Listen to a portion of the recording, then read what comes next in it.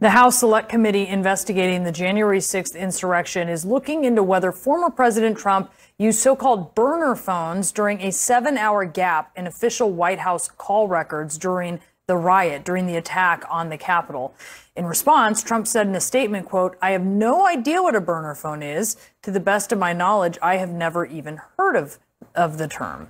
Joining us now is former Trump National Security Advisor John Bolton. Uh, Sir, what do you say to that? Well, uh, I can't understand what the, the former president is uh, is saying because uh, I heard him use the term uh, burner phone a number of times. It's hardly like it's some obscure, highly classified uh, set of words. Uh, criminal gangs in the United States use burner phones. Terrorists around the world use burner, burner phones. And as I say, I, I heard him mention it. So uh, you'll have to you'll have to guess what the reason for his statement is. He said, "quote burner phones" in in conversation. He did, yes. It, it, was a term he actually kind of liked. He'd say, you know, they have these burner phones. Uh, uh, so, you know, it's uh, it, the president, former president's uh, acquaintance with the truth is often very casual. I think this is a good example of it. So, did he have a burner phone?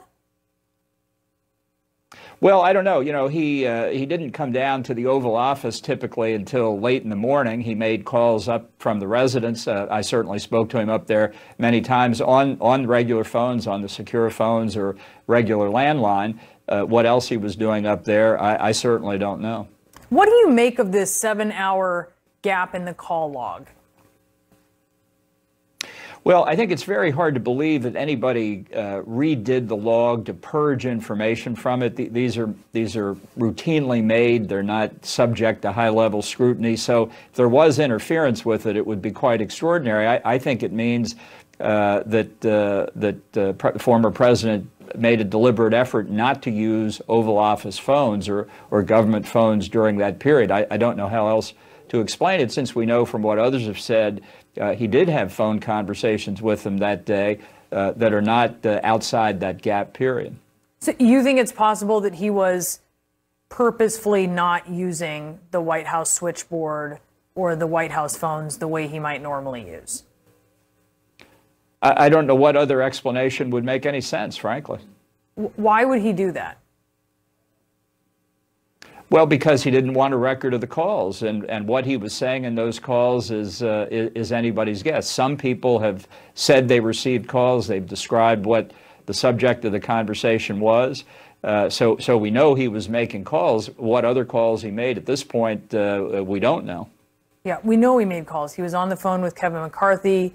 He called Senator Lee looking for Senator Tuberville. I guess he had the phone numbers messed up there. Um, I, I do want to ask you about Ukraine because it turns out that the Russian military is not so good. And U.S. intel really overestimated the ability of the Russian military. Why do you think that is?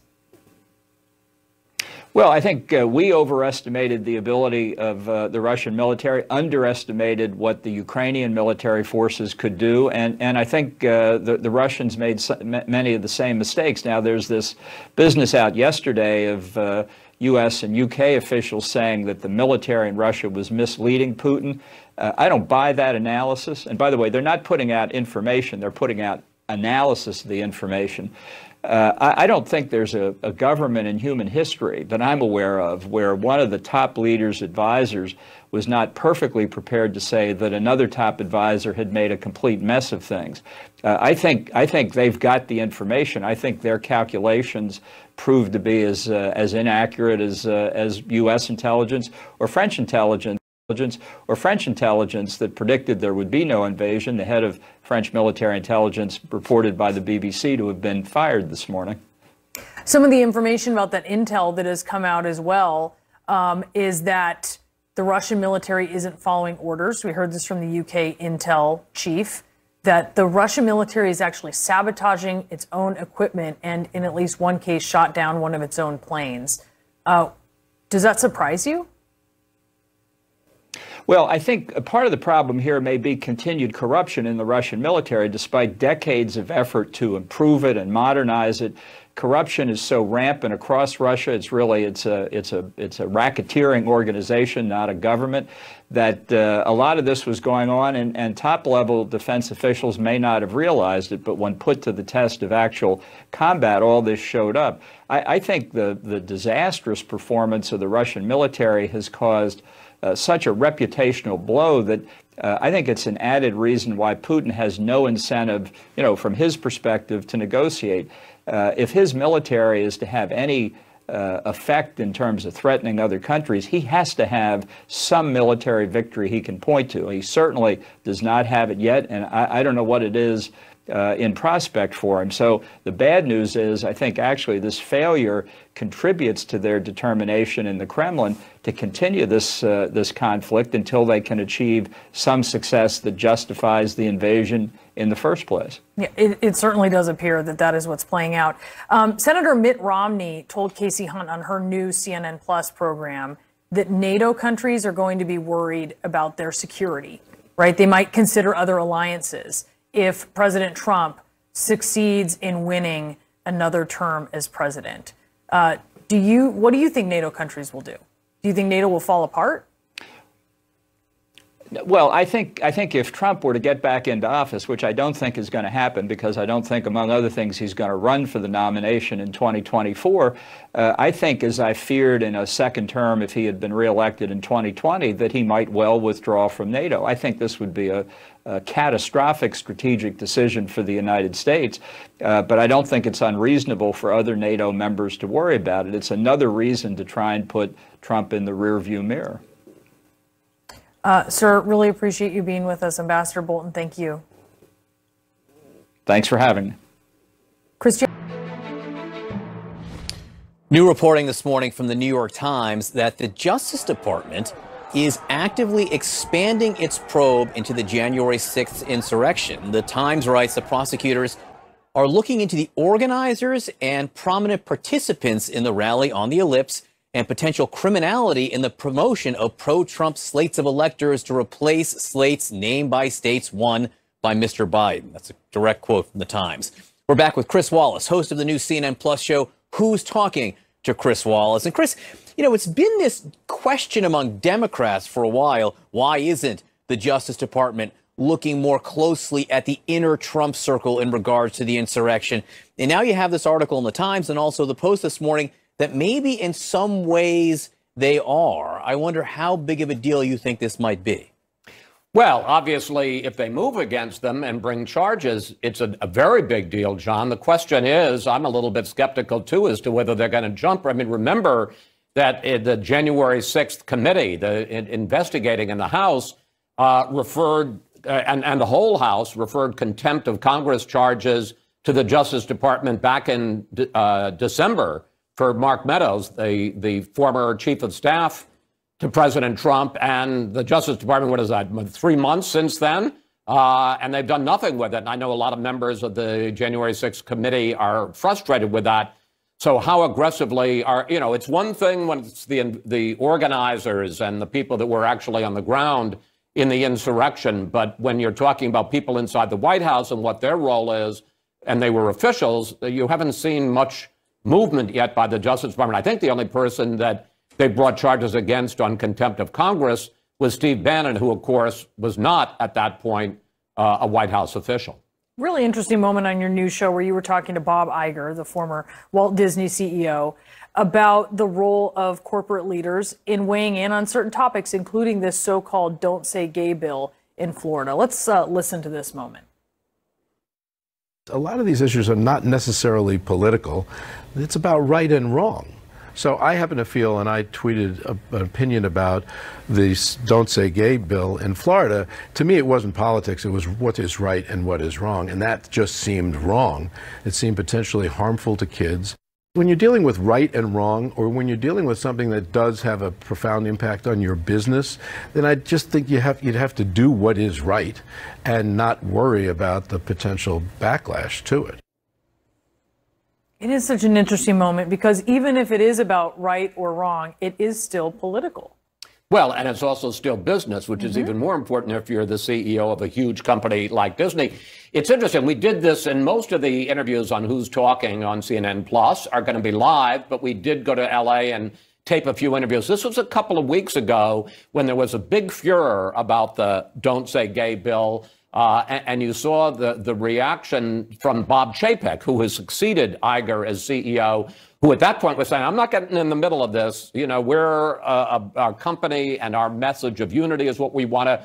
And although he didn't directly contradict or criticize Chapek, it was pretty obvious that when he said sometimes it's just a matter of right and wrong, that Iger was kind of distinguishing himself from the successor and saying sometimes you don't worry about the business and you don't worry about how it's going to affect you.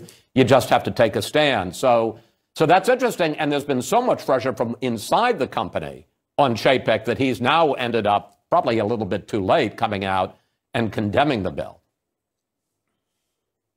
You know, Chris, we both worked for Bob Iger at one point back when we were at ABC News. You, of course, were this big time Oh, yeah. anchor and correspondent, and I was a lowly desk assistant and writer for a while. And I remember how excited I was. I used to have to write news briefs, which is what anchors would read that would get dropped into the soap operas in the afternoon. And I remember how excited I was that I actually got to write a news brief for you once. And, and, and I just, it's just such a happy memory. And now I get to, I get to meet you here uh, and you're at CNN. So it's, it's thrilling for me.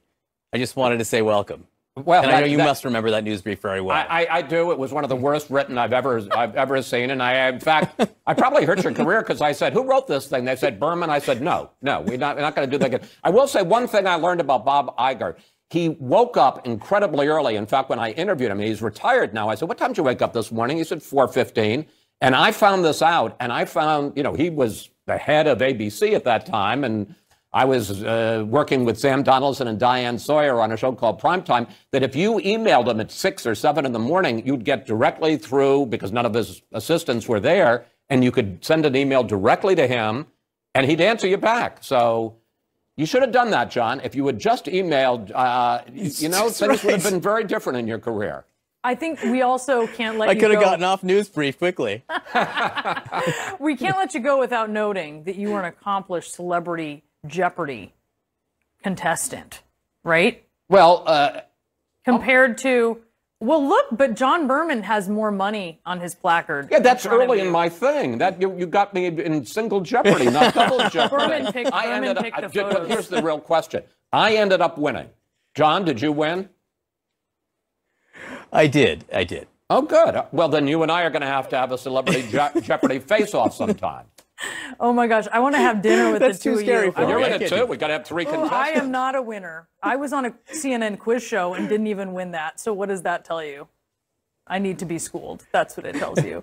Chris, it is such a pleasure having you at CNN and having you here this morning. Thank you so much for spending time with us. And can I just say? Oh, you're about to promote it, so I'm not going Here, to. you promote it. You well, I was, it. I, you know what? I will now read the teleprompter. Who's talking to Chris Wallace? Two critical new developments that suggest Russia's war on Ukraine is not going according to plan. First, listen to the UK's top intelligence officer describing what's happening with Russian troops on the battlefield right now. We've seen Russian soldiers, short of weapons and morale, refusing to carry out orders, sabotaging their own equipment, and even accidentally shooting down their own aircraft. Russian forces disobeying orders, sabotaging their own equipment. And breaking moments ago, Russian President Vladimir Putin signed a decree to draft more than 134,000 Russian citizens into the military. U.S. intelligence officials say Putin is angry and feeling misled because his own military leaders failed to inform him about key failures throughout the invasion. They were apparently too frightened to tell him. Also, this morning, signs that Russian forces are regrouping in Belarusian territory after suffering heavy battlefield losses in Ukraine. Negotiations with Russia are ongoing, but President Vladimir Zelensky calls the talks only words. He says Russian troops are now concentrating in the Donbass region for a new round of attacks. And there's also some new video that shows a bombed out Russian tank. This is a, a tank that is on fire in Sloboda, which is about 12 miles from Chernihiv. Ukrainian troops have retaken Sloboda, further blocking efforts by Russian forces to surround Chernihiv. In the meantime, Chernihiv's mayor tells CNN the attacks are increasing. He also says that people are being injured by Russian mines, including mines that are being shot into the city by artillery. I want to go live to Kiev, the Ukrainian capital, and bring in CNN's chief international anchor, Christiane Amanpour, who's there. Christiane, I want your take on this news out of Russia uh, a new conscription, 134,000 new Russian troops. What does that tell you? Well, first of all, this would be recruits, right? So they wouldn't be professionals ready to go and do anything here in Ukraine. But it might mean that what he's trying to do is rotate and regroup if, in fact, he has more professional troops on standby somewhere in Russia. Because clearly, this first phase of the military plan has not gone according to plan. And you just reported what the head of British GCHQ has said, and that, you know, low morale, sabotaging their own vehicles, in one case, shooting down their own aircraft. That doesn't apply to all of them, but enough of them um, that has made a you know a difference on the battlefield. And so you know we wait to see whether in fact this regroup in Belarus uh, actually means bringing much more professional, more motivated Russian troops to the battlefront. I was outside Kiev today in, in the in the outskirts, and you know the the troops that came towards Kiev on day one came from Belarus, and I was there with Ukrainian soldiers, many of them veterans. These are not just you know you know day soldiers. These are people who fought in the Donbass, have been fighting since 2014, highly trained and armed.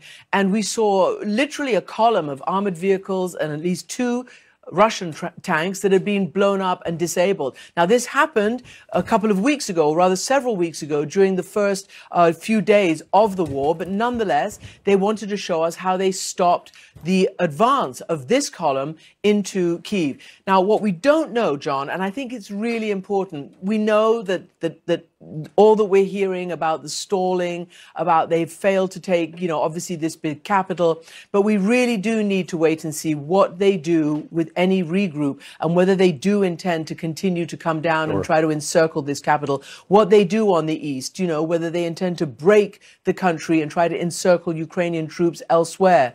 Um, people think it's, you know, Putin's in it for the long haul. Christiane, I'm really interested by your trip to the outskirts of Kiev today. What else did you see when you were on the ground there? It's so great to have you there.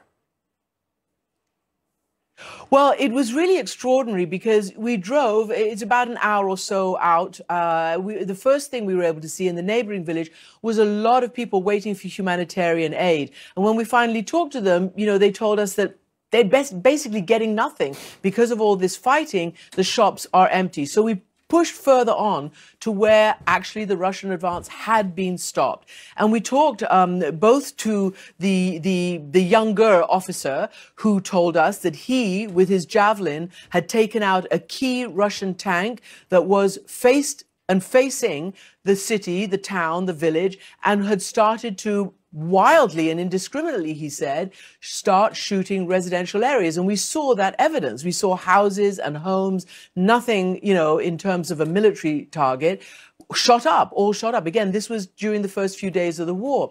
And he just I mean, the thing is incinerated. The the road is just strewn with shells from the autumn, you know, the, the heavy machine gun, the 30 millimeter shells all over the floor. Plus there are tank shells. Plus there's heavy artillery that was used. Plus there was shelling from mortars. You can see uh, the rosette pattern on the main floor, on the on the sorry, on the main road. So there was a lot of attempt by the Russians to take that town and to keep pushing forward. And these were in the initial days when they didn't know that they were going to face resistance. And as I said, we we counted counted uh, four armored vehicles. Uh, we were told there's another one that we couldn't actually see because it was in the woods, two tanks, and they told us all the troops had, had died, had been killed in this. You know, at one point they told me vaporized. So, so you know, that and they said the local villagers had had buried some of the bodies. We saw trenches being dug. Uh, they said to us, "We're not just defensive right now. We're planning to go on offensive if we have to to push them back." They said they had enough ammo at the moment. They had certainly high morale, high training. And yet I asked them, you know, this is a army that is much more heavily, you know, armed than you are. It's much more powerful than you are, but they were convinced that they can continue to hold out. That's what we saw. What a remarkable view. And I have to say, it is so unusual to see the amount of burnt out military equipment that we keep seeing all over this country. It really is remarkable. Christiane Amanpour in Kiev, great to have you there. Thank you.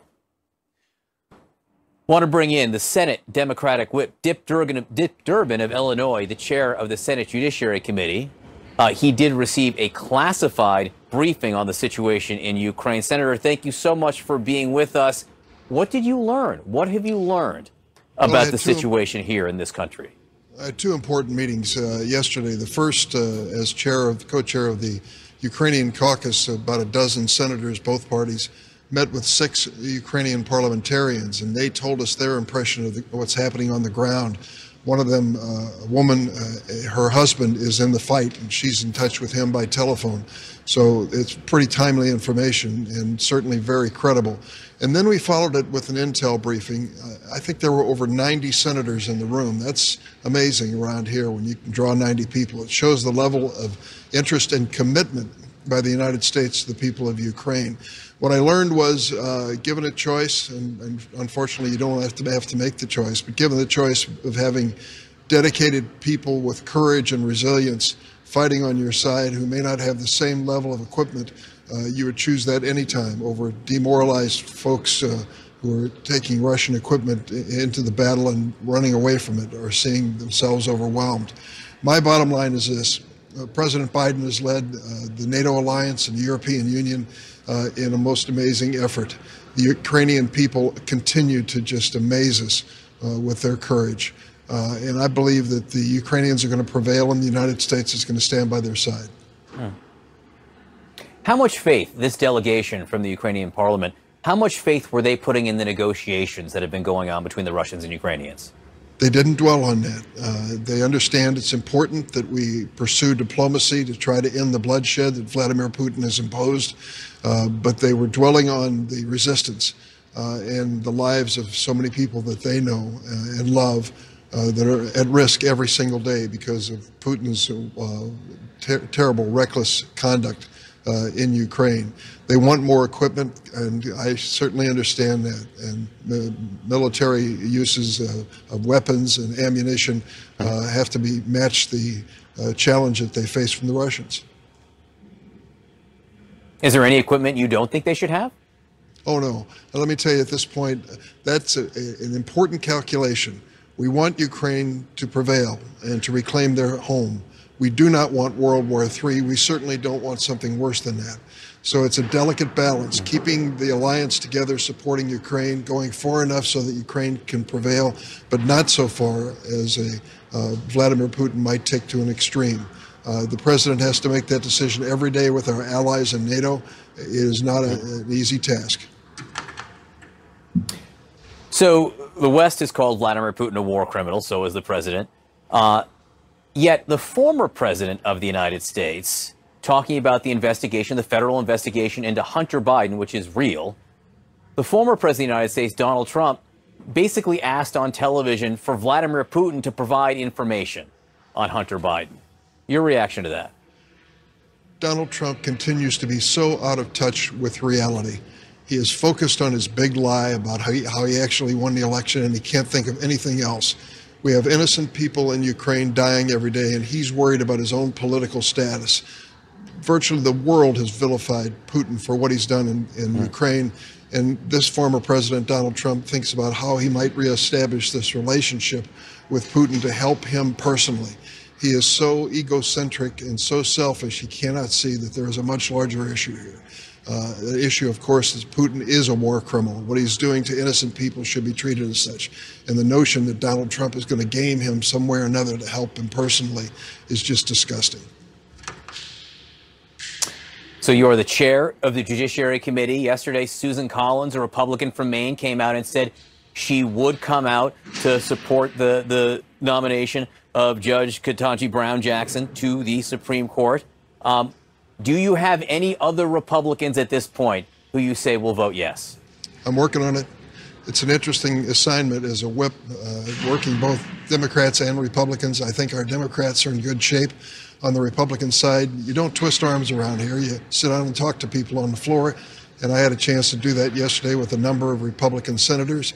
Uh, I'm hoping that they will join to make this an even larger group of bipartisan support for this great judge. But no promises yet beyond Susan Collins. No, not at this point, but I'm not giving up. We're going to use every minute to make sure we build this majority. Senator Dick Durbin, Chairman, thank you so much for being with us. Thank you, too. All right, the breaking news this morning that Vladimir Putin has authorized more than 134,000 people to be drafted into the Russian armed forces. What that means for the next phase of the invasion.